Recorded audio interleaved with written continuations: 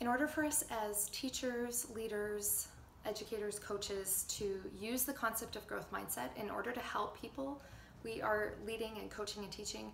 to maximize their brain, uh, which really until now we've underestimated how powerful the brain is. In order for us to do that, we need to not only, like I mentioned in my first video, understand the mechanics of mindset, but also we um, it can be helpful for us to understand that there are reasons why it doesn't end up working um, and there's resistance and challenges to it. So in this video, I'm gonna talk about three reasons why growth mindset doesn't work and then five steps we can take to help minimize some of those challenges and resistance. So the first reason why growth mindset doesn't work is that there is what I call a hyper belief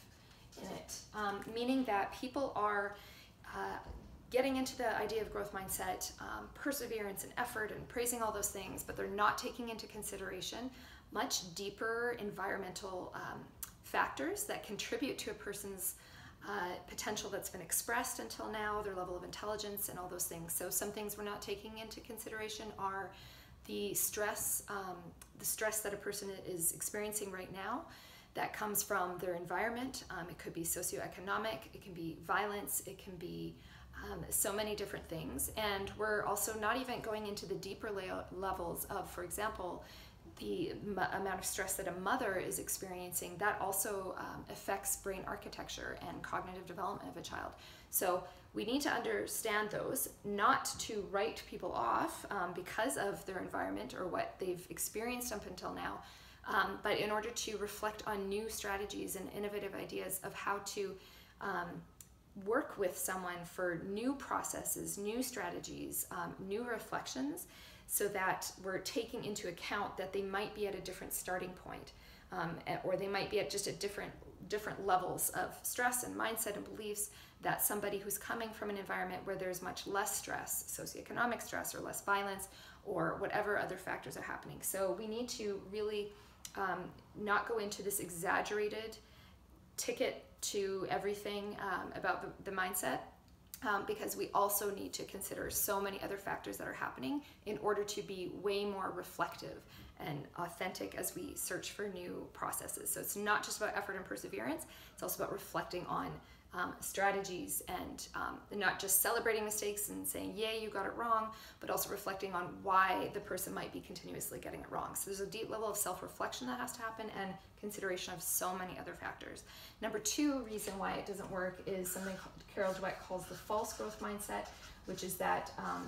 people are using the terminology, they're even setting up the right posters and they're doing all these activities but they haven't really um, internalized it. And so, like one saying um, coming from different education research is that the best teachers are the best learners. So, um, it's important for us if we are planning to talk about growth mindset that we are also continuously learning, challenging ourselves, learning new concepts, questioning and critically thinking about it. Um, and noticing our own dips and our own times where we're really not doing well at something and what we do to get out of those dips and how we reflect on it so that when we're talking about growth mindset, it's authentic. We're giving authentic personal examples, and personal examples and storytelling are really powerful ways to present this idea instead of just talking about it and explaining it. So, um, moving, you know, get, getting out of that uh,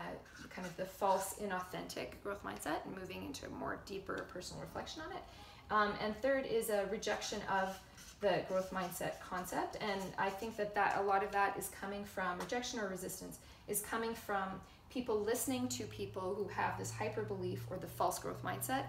not even seeing particularly beneficial results, or also just really resisting how um, the, the depth and self reflection that needs to happen. So, a lot of people I think are just being surrounded by this overhyped buzzword and it's causing them to reject and resist this concept um, because they're not learning about it from people who have really, really understood it on a deeper level. So the five ways that we can kind of overcome and, and push through some of these challenges. The first is um, just moving away from this very archaic way of thinking that things are either or, um, and immediately pushing people into in, into a category that you're either growth mindset or fixed mindset. Um, like Carol Dweck says, it's not a proclamation; it's a process and a journey, and we all have different levels of each of these at different moments of the day, different phases of our life, different environments. So as soon as we start kind of using this to label or categorize people, um, we're actually moving into a fixed mindset because it's acting as though people are just one way and not another.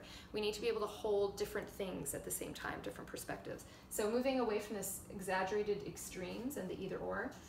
Um, number two is really getting much deeper into the concept of neuroplasticity and spe- specifically how environment and experience affects and builds brain architecture. Um, so that we are taking into consideration way uh, deeper cultural, socioeconomic, um, all of those things and how they have affected um, people's brain architecture to understand that they are coming in from totally different perspectives and different exposure to different data, which is going to affect their mindset and their ability to learn. So we really, we need to be getting into much deeper conversations about all of those things. And then in line with that, um, understanding the difference between two types of neuro, neuroplasticity, things that affect our brain architecture, bottom up stimulus and top down. So bottom up is that um, things from the external environment can affect us, also including the womb, that the environment can affect um, how our brains are getting wired, but to not use that as a reason to write people off, um, but to also understand that we also have top-down processes, meaning self-directed, um, meta processes where we are using our mind in new ways through things like uh, imagination and visualization and different techniques like that, um, that we can use our mind to rewire our, our brain. So both, both are very important. If we only talk about top-down, um, that we can use our mind to rewire our brain, we're, we're not taking into consideration how much the environment has already affected us in many ways. And if we only talk about environment, that it's external stuff, we can write people off and say that people are lost causes because we haven't taken into consideration the top down. So we need to understand both, both of these processes, um, layers of neuroplasticity. The fourth thing is that modeling um, is way more powerful, effective, and efficient than instruction and explanations. And I know that I am instructing and using words and explanations for this, um, but part of this is that I have gone through a lot of my own work to really internalize this so that you're hearing what I call the biofeedback of authenticity. You're hearing that um, I have very authentic and passionate uh, kind of um, a vibe about me when I'm talking about this because I've seen it and I apply it to my own life regularly. So, um, but the other aspect of this is that when it comes to teaching this to other people, it's important for all of us to understand that it's what we're modeling in moment to moment interaction. So if I just talked about it like this, and then in day to day life, my students or people that I'm leading in an organization are not seeing me um, uh, celebrate my own failures and understand the refinement process or taking into all these other these things into consideration, they'd have a harder time believing me. So, and just in terms of how our brain works, we are much stronger learners when we're seeing things modeled because there's so much more data that's coming at us um, for, from that person. Instead of just the words, we're, we're reading their biofeedback, their movements, their moment to moment processes and reflections. So, modeling being much more important. And then, along with that, way more talk and movement about grown-ups and the grown-ups um, mindset. So we um, tend to jump very quickly to children's mindsets. I think we need much more of a movement surrounding the grown-ups um, uh, in the room and how grown-ups are moving between fixed and growth mindsets. So the teachers, uh, the leaders, the parents, the policymakers, we need a lot more talk and a lot more um, of you know, going into what the grown-ups are doing and their mindsets instead of jumping right to what the children are doing and their mindsets. And then uh, finally, um, just more questioning in general of science because part of the reason we have uh, fixed ideas about uh, intelligence and talent and that we don't understand many of these things is that we haven't questioned science enough and science has led us to very outdated and sometimes completely inaccurate ideas so questioning of the science and also because we're getting bombarded from so many different angles with different news sources and authorities that I think we need to be way more critical of, um, going deeper and holding different perspectives at the same time. So even having conversations with people that may not agree with us, that we can hold different perspectives. So um, those are the quick summary. Uh, the, the resistance and the challenges are hyper-belief, not taking into effect, uh, consideration deeper factors, um, false growth mindset, um, talking about it and not really um, internalizing and infusing it into moment to moment interactions about our own life, and resistance coming from people learning about it, from people who are demonstrating more of these types of um,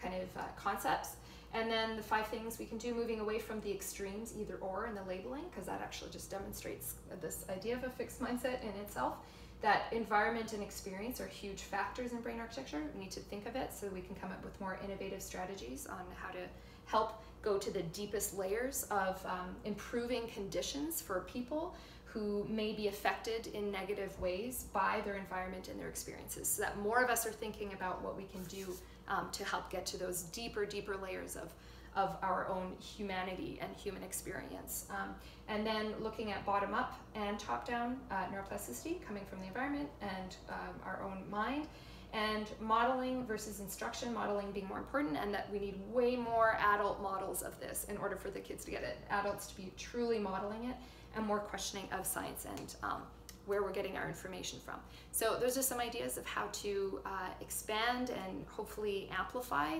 the idea of growth mindset in really powerful, empowering ways that are also compassionate and taking into consideration how much environment and experience affects us, and also in the empowering way of knowing that we can do things that can help us rewire and learn, um, even like despite some of the circumstances that some people are facing. So I hope um, those help. And uh, thanks for watching. You can also visit my website at stefaniefayefrank.com. Thanks.